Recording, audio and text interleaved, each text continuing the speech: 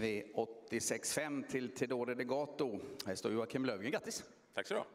Tredje starten för, för er. Var lite wow över det här va? Det visst var det.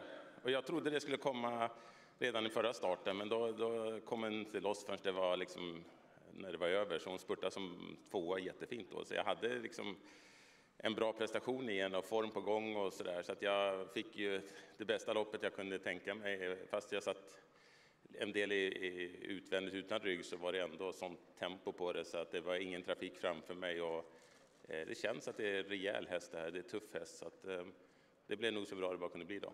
Nu fick hon visa också att hon var tuff, för det var, det var ett tufft upplopp. Det var det. Och hon hjälpte till och svarade också, så att eh, hon släppte ingen över bron där, utan hon, eh, hon krigade. Och jag har fått en, de vibbarna att det här är rätt sort den här hästen. Så att jag, jag körde ut med, med det i bakhuvudet, att hon har inte hunnit visa så mycket men, hos oss, men jag hade ändå en, en, liksom en aning om att det här kommer vi få roligt med.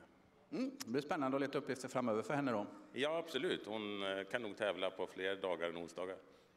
Imorgon ska du till Kalmar. Det såg lite spännande ut där. Många fina hästar till start va? Mm, jag tar med mig några. Börjar med Stearo Peanut som inte har vunnit på ett tag nu men som gör ändå bra prestationer. Kom helt fel sist bara men hästen är fin.